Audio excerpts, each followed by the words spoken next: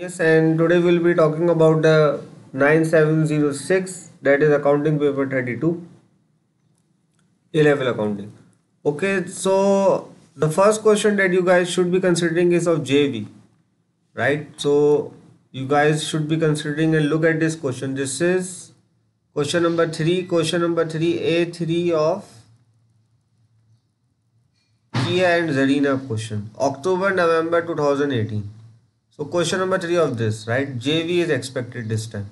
Okay, look at this question. First question is this. A3, 4 of this 32, May, June, May, June 1932. Similar question, right? So it is expected.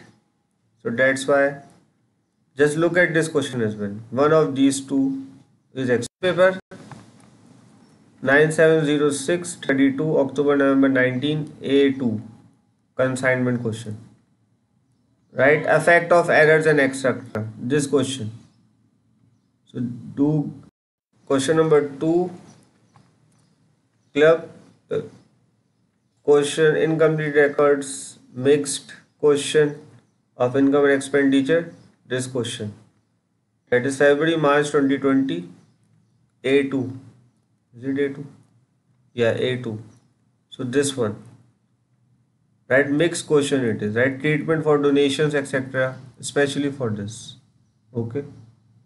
This overheads calculation etc total overheads revised profit per head. This is question number 6 of 31 October November 17 so this is important because of these things. Apportionment apportionment of overheads etc okay so 31 october november 17 right question number 6 important. Expecting this npv calculation question this time. So question number 5 would be about this. B1 that is npv payback period arr etc so this is insert of may june 1932 may june 19 right? So kindly go through this question right? Npv etc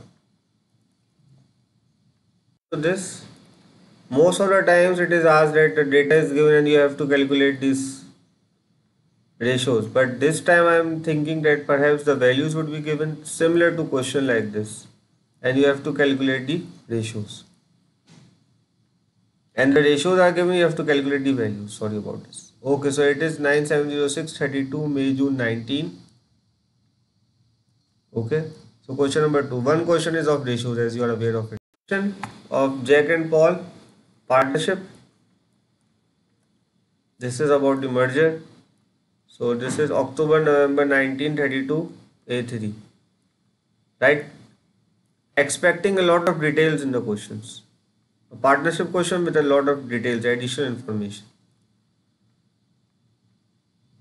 And this is like would they benefit financially from merging on, costing b1 b1 question is yes this one. And this is october november 1932 so which method they are asking? Overheads question or this abc question? Mixed. This and question number 6 of this. Budgeting production budgets purchase budgets each and everything flex budgets each and everything. So this question